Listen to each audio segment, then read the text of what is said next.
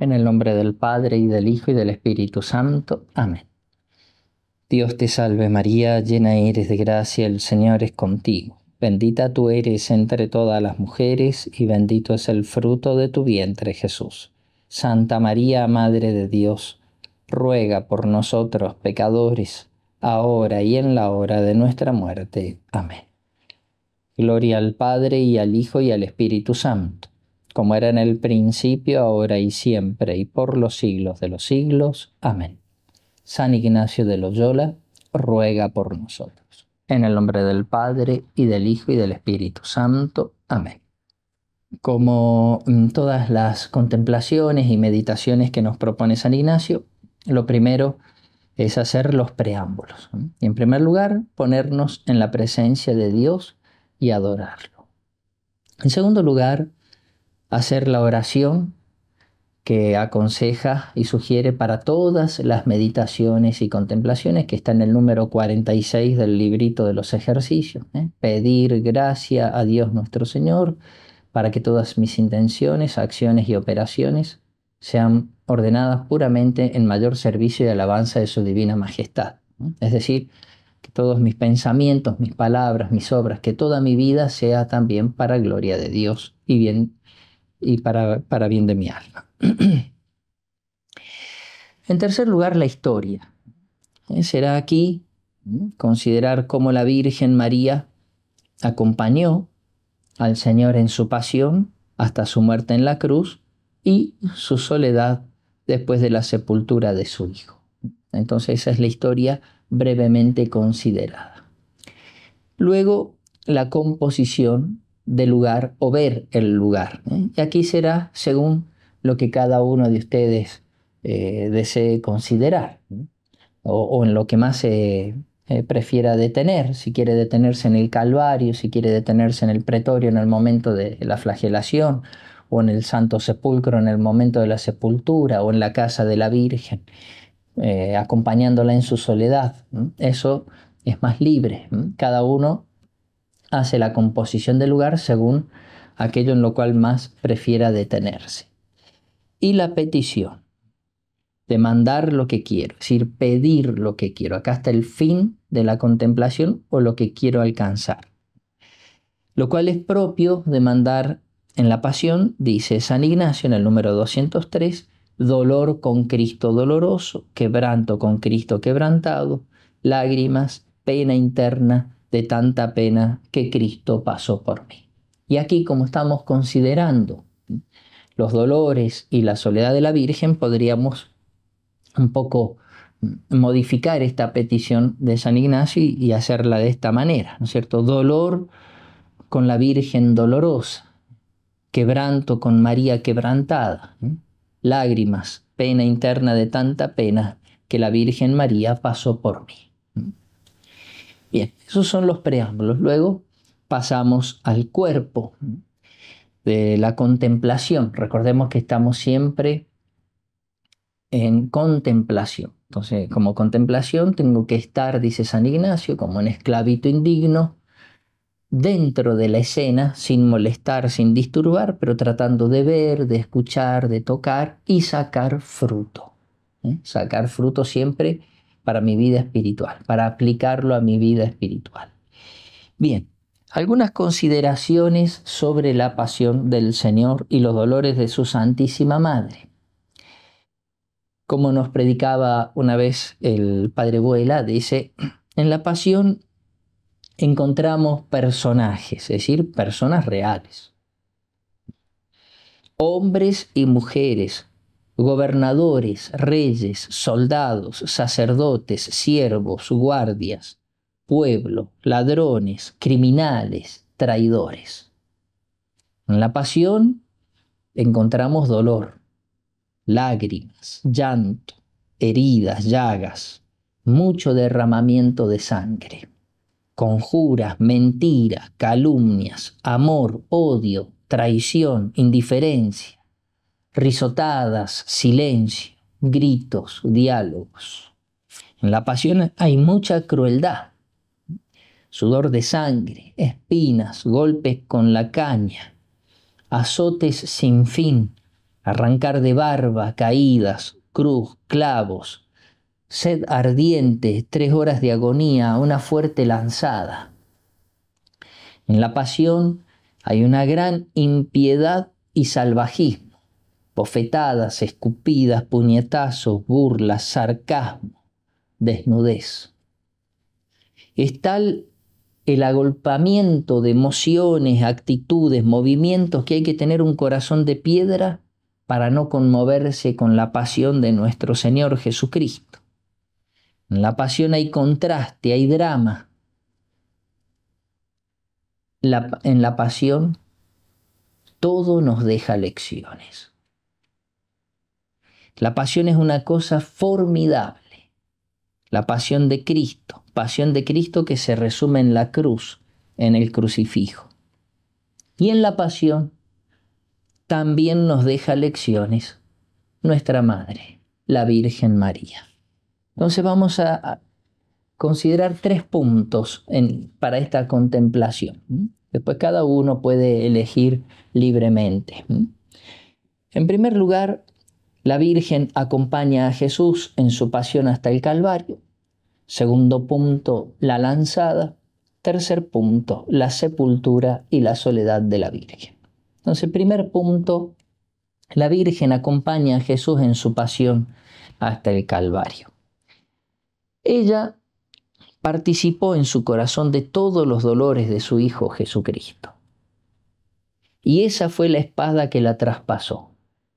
Por eso es llamada con toda razón y justicia la corredentora, ¿eh? corredentora, es decir, aquella que pagó junto con Cristo por nuestros pecados, por cada uno de nosotros. La Virgen Santísima escuchó a Pilatos cuando dijo, lo voy a azotar y os lo entregaré. Y sin duda, la Virgen se estremeció en su alma y en su cuerpo. Ella vivió en su corazón todos los dolores de la pasión de Cristo, su Hijo, y por eso la llamamos la Virgen de los Dolores. ¿Cuántas lágrimas derramó la Virgen de los Dolores durante la pasión de su Hijo querido? ¿Cuántas lágrimas?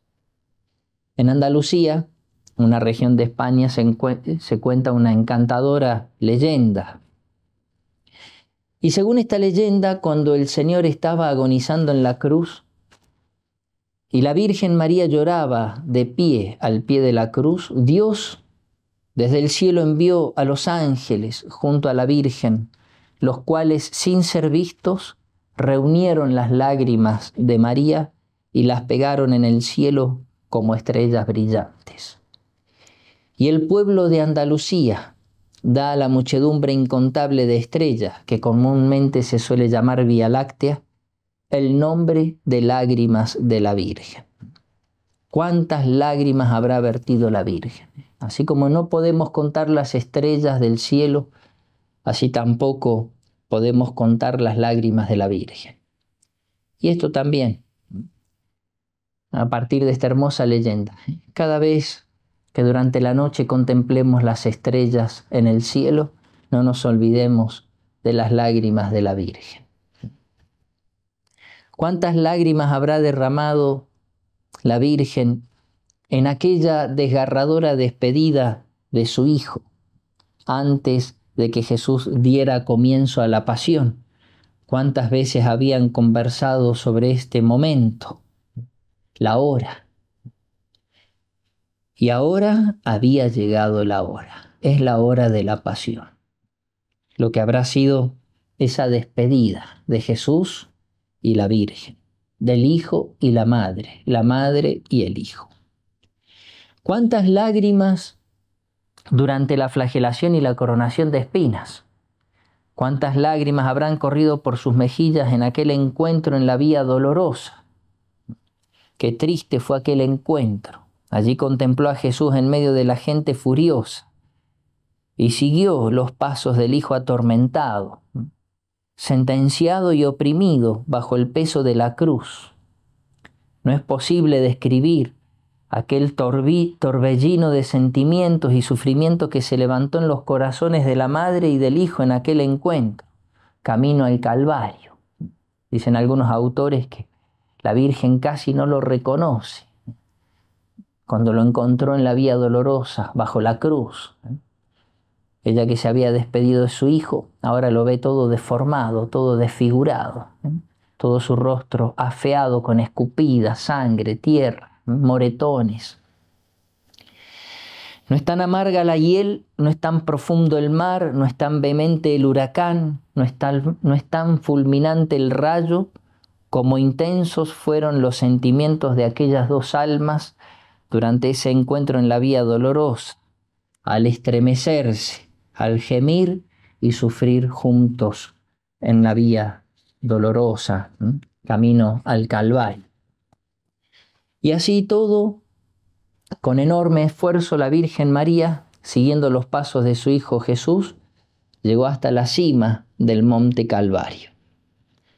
Ahí estaba la Virgen de los Dolores, de pie, soportando lo insoportable. Y ese fue el indecible martirio de la Virgen, que la convirtió también con toda razón y justicia en la reina de los mártires. Todos los sufrimientos de Jesús dice San Jerónimo, eran a la vez los sufrimientos de María. Cuantas eran las llagas en el cuerpo de Cristo, otras tantas eran las llagas en el corazón de María. Es cosa de admirar una nueva clase de martirio, una madre condenada a ver morir ante sus ojos, ejecutado con bárbaros tormentos, a un hijo inocente, y al que amaba con todo su corazón. Como narra el evangelista San Juan, capítulo 19, versículo 25, estaba junto a la cruz su madre. No se le ocurre a San Juan decir otra cosa para ponderar el martirio de María, que contemplarla junto a la cruz de su hijo moribundo, porque no hay dolor semejante a su dolor. Apenas llegó el Señor al Calvario, rendido de fatiga, extenuado, los verdugos lo despojaron de sus vestiduras y lo clavaron a la cruz, atravesando sus sagradas manos y sus pies con clavos, no afilados, sino despuntados para más atormentarlo. Como dice Melitón de Sardes, clavos amargos y acerados, los clavitrabales. Como dice también San Bernardo, ¿no? No afilados, sino despuntados para más atormentarlo. Y una vez crucificado, lo levantaron y así lo dejaron en agonía hasta que muriera. Lo abandonaron los verdugos, que se dedicaron a jugar a los dados y a sortearse las vestiduras del Señor, a divertirse en medio de la agonía del Señor. Lo abandonaron, por decir así, los verdugos, pero no lo abandonó la Virgen María, su madre. Al contrario, se acercó más. Se acercó más a la cruz para acompañar a su hijo, para asistirlo en su muerte. Le dijo la Virgen Santísima a Santa Brígida, yo no me separaba de él y estaba muy próxima a su cruz. San Ventura perdón, San Buenaventura le hablaba a la Virgen en estos términos. Señora, ¿por qué has subido hasta el Calvario para ver morir a tu Hijo? Y el mismo santo respondía, es que tu corazón no pensaba en su propio sufrimiento, sino en el dolor y en la muerte del Hijo amado. Y por eso tú misma quisiste acompañarlo.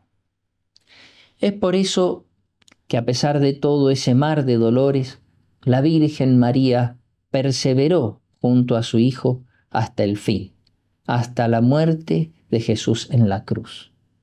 Stabat mater dolorosa iuxta crucem lacrimosa. Allí estaba la Madre dolorosa al pie de la cruz, como reza ese hermoso himno, el Stabat Mater al pie de la cruz de pie como imagen de la fe, soportando la agonía, con el alma traspasada por la septiforme espada, está la Virgen María.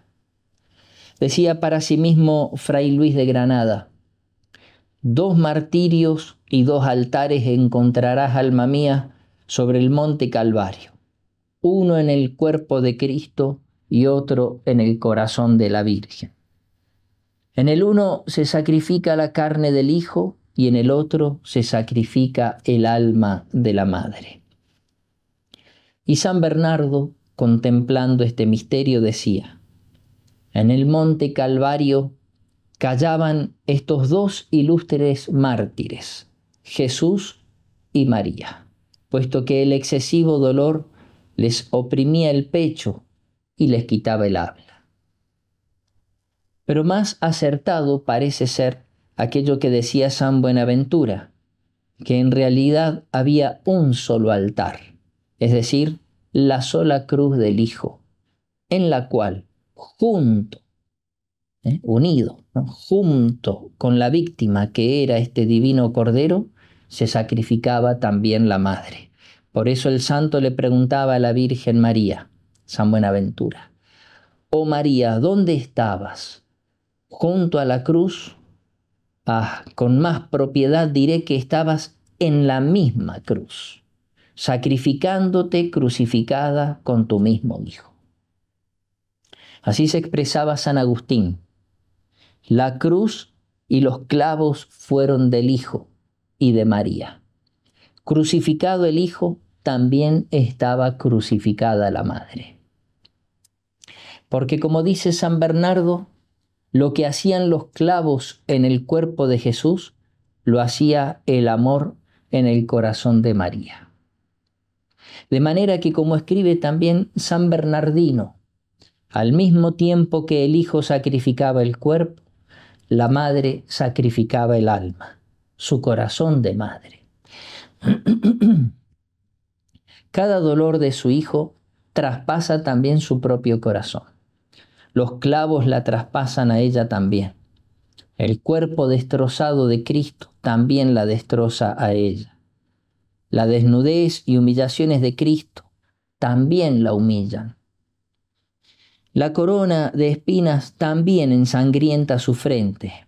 Sin embargo, y a pesar de todo esto, ahí estaba la Virgen, de pie al pie de la cruz con gran constancia, coraje y con grandeza de alma.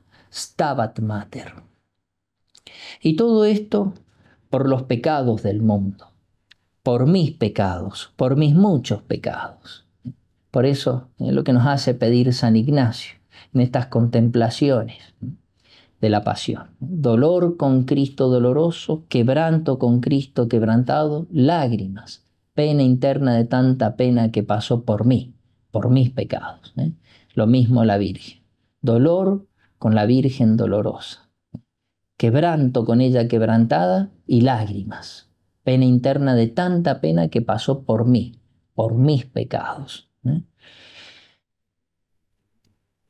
Por mis muchos pecados. ¿eh? Queridos hermanos, queridos ejercitantes, el pecado es una cosa seria.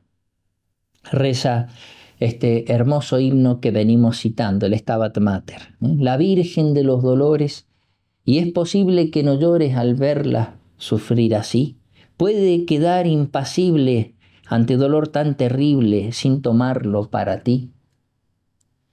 Por los pecados del mundo, ahí está, ¿eh? por mis pecados también. Por los pecados del mundo ve a su hijo moribundo sometido a la tortura, ve expirar abandonado a quien por todos se ha dado objeto de su ternura.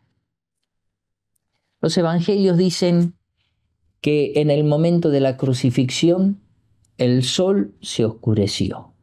El sol, aborreciendo tanta maldad, la más grande de toda la historia de la humanidad, avergonzado, cerró sus ojos y cubrió su rostro para no ver este espectáculo. La tierra tembló las rocas se partieron por el medio y el pueblo se golpeaba el pecho y huía despavorido. Y sin embargo, ella, la Virgen Madre, permaneció junto a la cruz y de pie. Stabat Mater. Ella no se quebró, no dudó, no vaciló, no amenazó, ni siquiera se lamentó, sino que con amor materno y lleno de compasión y con una fe indestructible, perseveró a los pies de la cruz. Stabat Mater.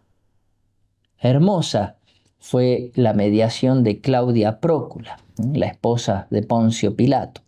Fue un alivio para el Señor la ternura de la Verónica. Fue dulce la compasión de las pías mujeres a lo largo de la vía dolorosa. Pero más sublime fue el amor, la fidelidad, la perseverancia de la Virgen de los Dolores. Amor, fidelidad y perseverancia más fuerte que la misma muerte. Stabat mater dolorosa, iuxta crucem lacrimosa. Imitando la fortaleza de la Virgen de los Dolores, tenemos que pedir que por nada del mundo, y sobre todo nuestras debilidades, nuestras faltas, jamás nos separen de la cruz, de la pasión y de la Virgen María nuestra Madre. ¿eh? También como reza este hermoso himno, ¿eh? el Stabat Mater, que dice así, que acompañe yo tu llanto que comparta tu quebranto y te asista en la tristeza, que junto a la cruz me ampare y que nunca me separe de ti ninguna flaqueza. Y es de gran maravilla ver cómo nuestro Redentor Jesucristo, desde la cruz y en su agonía, el momento más grande de su dolor y de su desolación, es de admirar, ¿no?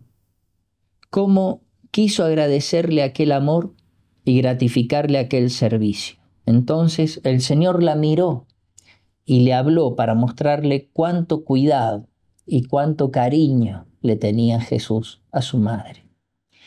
Y el Señor, a pesar de tener los ojos oscurecidos con la sombra de la muerte y pegados con la sangre que caía de la cabeza, sintiendo la presencia de la madre, se esforzó en querer mirarla y apretando los párpados exprimió como pudo la sangre que tenía pegada a los ojos y abriéndolos los enclavó en los de la madre que estaba allí delante. Y señalando con la cabeza al apóstol y discípulo amado, San Juan, que le acompañaba, le habló desde la cruz y le dijo, Mujer, ahí tienes a tu hijo. Y vuelto al apóstol San Juan y señalando a su madre, le dijo, ahí tienes a tu madre.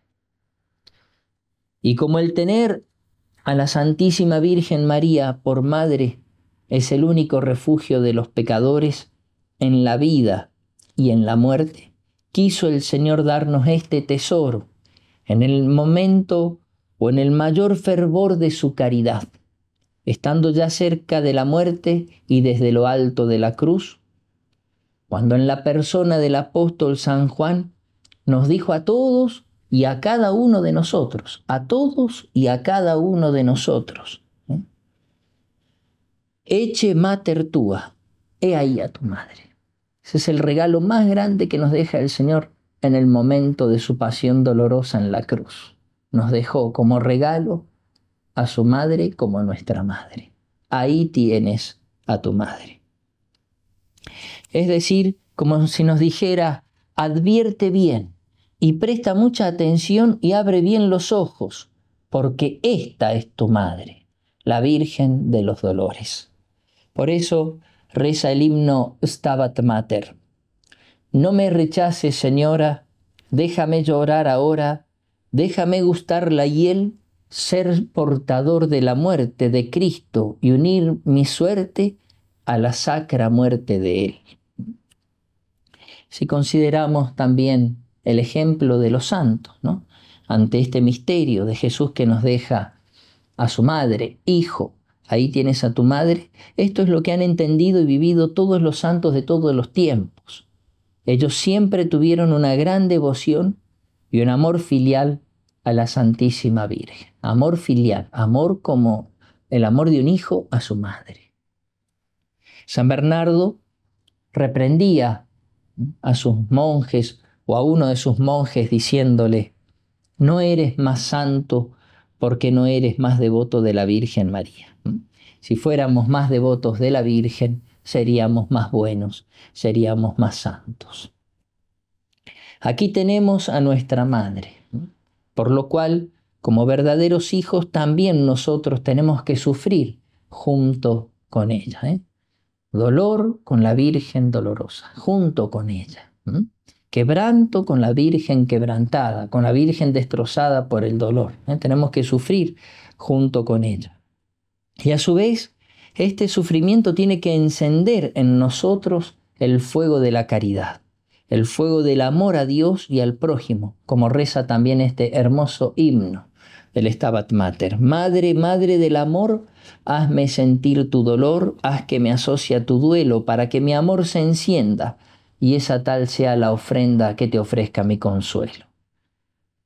Queridos ejercitantes, se estaba obrando la redención del mundo. Cristo colgaba de la cruz de tres duros clavos, la Virgen permanecía de pie, su pena era grande como el mar y nadie la podía compartir. Su dolor estaba más allá de las palabras. Detengámonos en este momento, ¿no? contemplemos ahí sobre el Calvario a Cristo colgado de tres clavos en la cruz y a la Virgen María de pie al pie de la cruz. No había palabras para expresar todo lo que venía sufriendo y todo lo que sufría al pie de la cruz porque allí al pie de la cruz la Virgen lo veía desnudo a su hijo y no lo podía cubrir, lo veía sediento y no le podía dar de beber, lo veía injuriado y no lo podía defender, lo veía traspasado de dolor por los clavos y no lo podía confortar, veía los ojos de su hijo llenos de lágrimas y no se los podía enjugar, veía todo el cuerpo de su hijo hecho una llaga y no lo podía sanar. Veía el rostro de Jesús cubierto de innumerables escupidas e inmundas salivazos y no los podía limpiar. Veía que no podía respirar y no lo podía aliviar. Sentía el último respiro de su hijo y no lo podía abrazar. En fin, ya muerto su hijo tuvo que ver con paciente resignación cómo le atravesaron con la lanza su sacratísimo corazón, sin tener piedad de la madre que estaba allí. ¿Cuántas lágrimas habrá derramado la Virgen? ¿Quién puede describir los dolores de la Virgen si no podemos descubrir, perdón, describir los dolores del Hijo? Ese es el primer punto. Y en segundo lugar, un poco más breve, María ve cuando traspasan el costado a su Hijo o el costado de su Hijo. Habiendo muerto ya nuestro Redentor, después de haber dicho todo está cumplido, y después de entregar su espíritu diciendo, Padre, en tus manos entrego mi espíritu, inclinando la cabeza, expiró y murió. Qué misterio, qué gran misterio. Un Dios que por amor a los hombres se hizo hombre para salvar a los hombres y los hombres que lo matan. Y lo matan de la peor manera. Es el drama real más grande de toda la historia de la humanidad. La Virgen, al pie de la cruz, suplicó a los verdugos que no le quebraran las piernas a su hijo. Dice San Buenaventura, pero mientras estaba diciendo esto, un soldado le dio a Jesús una violenta lanzada y con ella le abrió el costado a Jesús y le atravesó su corazón. Como dice el evangelista San Juan, testigo ocular directo, presente allí al pie de la cruz, Juan 19, 34. Uno de los soldados le abrió el costado con una lanza y al instante salió sangre y agua. Al golpe de la lanza retembló la cruz y el corazón de Jesús quedó abierto como le fue revelado a Santa Brígida. Aquí es muy importante recordar que el ultraje de esta lanzada fue para Jesús, pero el dolor fue para María. Dice en Lampergio, compartió Cristo con su madre el sufrimiento de esta herida, de modo que él recibió el ultraje y María el dolor.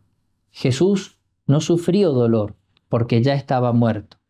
Sí sufrió un ultraje su cuerpo, pero la que sufrió en el alma fue la Virgen María. Y esta fue la espada que predijo a la Virgen el anciano Simeón. Espada no de acero, sino de dolor, que traspasó su alma bendita, al mismo tiempo que traspasaba la lanza el corazón de Jesús, donde ella siempre habitaba. Así dice San Bernardo, la lanza que atravesó el costado de Cristo atravesó a la vez el alma de la Virgen, que no podía separarse de él.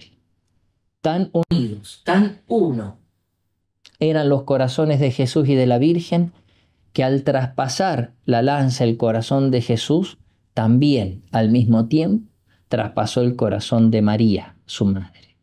Reveló la Madre de Dios a Santa Brígida. Al sacar la lanza estaba teñido el hierro con la sangre. Entonces me pareció como si mi corazón se viera traspasado al ver el corazón de mi hijo traspasado. Fue tan intenso este sufrimiento que María no murió por puro milagro de Dios. Y en tercer y último lugar, tercer y último punto, la sepultura de Jesús y la soledad de la Virgen. Cuando una madre está junto al hijo que sufre, sin duda padece todas las penas del hijo, pero cuando el hijo ha muerto y va a ser sepultado, y la madre se tiene que despedir del hijo, el pensamiento de que no lo va a ver más es superior a todos los demás dolores. Después de que la Virgen María asistió a su hijo en la cruz, después de haberlo abrazado ya muerto, debía finalmente dejarlo en el sepulcro, quedando privada de su presencia. Y esta fue una nueva espada de dolor. La Virgen María estaba anegada en su dolor. Habían bajado a Jesús de la cruz. Ella estaba abrazada a su hijo. Pero se terminaba el tiempo permitido para la sepultura, ya que en pocas horas comenzaba el sábado. Por eso todos se apresuraron para poder dar sepultura al Señor. Para lo cual, con toda reverencia, luego de colocarle los aromas, mirra y aloe, como se acostumbraba, lo envolvieron en una sábana nueva, recién comprada, como dice el evangelista San Marcos, José de Arimatea compró una sábana, lo bajó y lo envolvió en la sábana y lo depositó en un sepulcro que estaba cavado en la roca.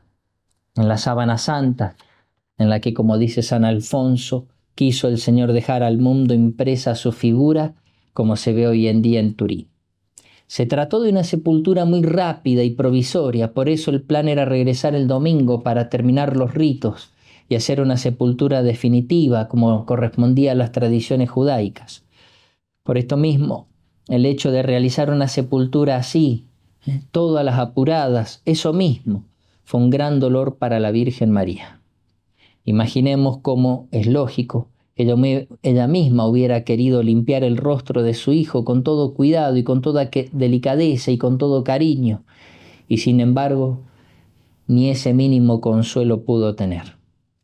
Lope de Vega, en una de sus poesías, una titulada Al sepultar a Cristo, describe ¿eh? cómo se veía ese cuerpo muerto de Cristo. Dice así, ves aquestos rojos pies y aquestas sangrientas manos, mira este rostro escupido y este cabello arrancado. Mira aquesta boca herida y aqueste cuerpo azotado y esta cabeza sangrienta y este pecho alanceado. Luego de los preparativos, lo llevaron hasta el sepulcro en fúnebre cortejo. Los discípulos lo cargan, unos lo toman por los pies, otros por el dorso. Las santas mujeres van detrás y con ellas la Madre Dolorosa hasta llegar al Santo Sepulcro. Lope de Vega, al mismo tiempo que nos llama a la contemplación de este misterio, sigue describiendo la escena con hermosos versos. Dice así, llevan al difunto Dios en los dolorosos brazos con lamentables suspiros, tristes lágrimas llorando. Abrió el sepulcro la boca y recibió a Dios temblando, que aún las piedras si comulgan, han de temblar comulgando. Alma, ven a las exequias de Jesús tu enamorado, que yace por tus amores muerto, herido y desangrado. Mira sin la luz a la luz, sin vida al que te la ha dado, condenado al Salvador por salvar al condenado. Mira Jesús por ti muerto y que muerto y enclavado te dice, ay esposa mía, aunque me, aunque me mataste, te amo. Bien, llegados al lugar, cuánto hubiera deseado María quedarse allí con su hijo, si hubiera podido, pero como no era esa la voluntad de Dios, al menos acompañó el cuerpo sagrado de Jesús hasta el interior del sepulcro. Y allí se quedó hasta que llegó el momento de hacer rodar la piedra para cerrar el sepulcro. Dijo la Virgen a Santa Brígida, puedo decir con verdad que habiendo sido sepultado mi hijo, allí quedaron sepultados dos corazones. Por fin, colocada la piedra, quedó encerrado en el santo sepulcro el cuerpo de Jesús, aquel gran tesoro que no, hay que no lo hay mayor ni en el cielo ni en la tierra. Y al dejar el santo sepulcro, la Virgen María volvió a pasar junto a la cruz, cruz que estaba bañada con la sangre de Jesús, y allí mismo la Virgen fue la primera en adorarla, diciendo, Oh cruz santa, yo te beso y te adoro porque ya no eres un madero infame, sino cátedra de amor y altar de misericordia, altar consagrado con la sangre del Cordero Divino que ya ha sido en ti sacrificado para la salvación del mundo. Dice también Lope de Vega en otras de sus poesías, a la soledad de Nuestra Señora. Dice, sola con la sola cruz, los ojos puestos en ella, en sus virginales manos clavos espinas sangrientas, vueltos dos fuentes sus ojos, que derraman vivas perlas, llorando muerta una vida, dice así una vida muerta. Así la Virgen María, dando el último adiós al Hijo, al Santo Sepulcro y a la Santa Veracruz, regresó a la casa donde se alejaba esos días. Andaba esta pobre madre tan triste y afligida que según San Bernardo, y que sin ella quererlo, los que la veían no podían contener el llanto y agrega que los que la acompañaban lloraban por el Señor y por ella a la vez. Bien, por último y muy brevemente, la soledad de la Virgen María. Una vez en la casa sintió ese vacío que se siente cuando se regresa a la propia casa, sabiendo que hay alguien que falta y que no va a regresar. Es un silencio, es un vacío, es un espacio que, nada lo puede llenar y junto al vacío y al silencio la soledad, soledad que inevitablemente evoca recuerdos, los recuerdos del pasado. Y en la Virgen se hacen presentes los recuerdos de la vida y los recuerdos imborrables de la pasión y muerte tan despiadada, tan impresionante y tan cercana que sufrió su hijo inocente. Se acordaba de los primeros abrazos que le dio al hijo en la gruta de Belén de los coloquios tenidos con él durante tantos años en la casita de Nazaret, le venían a la mente las constantes muestras de afecto y las palabras de vida eterna que salían siempre de la boca de Jesús. Pero luego se le representaban las terribles escenas vividas aquel mismo día, se le representaban aquellos azotes, aquella corona, aquella cruz, aquellos clavos, aquella carne lacerada de su hijo, aquellas llagas profundas, aquellos huesos a la vista, aquella boca entreabierta, aquellos labios resecos, aquellos ojos sin vida, aquel rostro todo afeado, sucio y deformado. Eran todas imágenes imborrables, imágenes indelebles, grabadas en su corazón y en su memoria. Qué noche aquella de dolor, de lágrimas y sobre todo de soledad para la Virgen María. Bien, y así llegamos a los coloquios. Como siempre decimos, jamás dejar los coloquios. ¿eh? Hacer tiernos coloquios con la Virgen María. Sobre todo al contemplar esta pasión que se renueva en cada Santa Misa, la pasión del Señor. Bien, para terminar, rezamos eh, o concluimos con los últimos versos del Stabat Mater. pidiendo la gracia de que también se grabe la pasión en nuestros corazones y que toda la vida la llevemos en nuestros corazones. Dice así, Santa Madre, esto te pido que se imprima en mi sentido la dolorosa pasión, que conmigo dividida la lleve toda la vida dentro de mi corazón. Que con sus llagas me llague, que con su sangre me embriague para alejarme del vicio y me libre de las llamas. Por ti, por lo que tú clamas en el gran día del juicio. Cuando ocurra mi partida, Señor, por tu bendecida madre, dame la victoria, y caído el cuerpo muerto, haz que mi alma arribe al puerto de la gloria. Bien, y por último, después hacer desde los tiernos coloquios con Jesús y la Virgen, el examen de la contemplación. En el nombre del Padre, y del Hijo, y del Espíritu Santo. Amén. Bendita sea la pasión de nuestro Señor Jesucristo y los dolores de su Santísima Madre. En el nombre del Padre, y del Hijo, y del Espíritu Santo. Amén.